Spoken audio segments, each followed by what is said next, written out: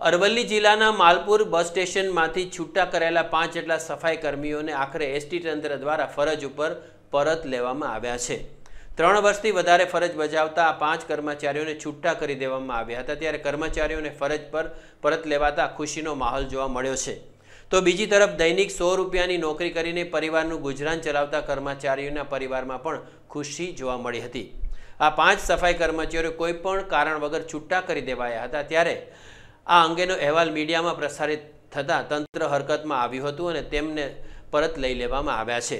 ત્યારે સફાઈ કર્મચારીઓને ફરજ પર પરત લેવાતા ગુજરાત વાલ્મીકી સંગઠન અને સફાઈ કર્મચારીઓએ મીડિયાનો આભાર વ્યક્ત કર્યો.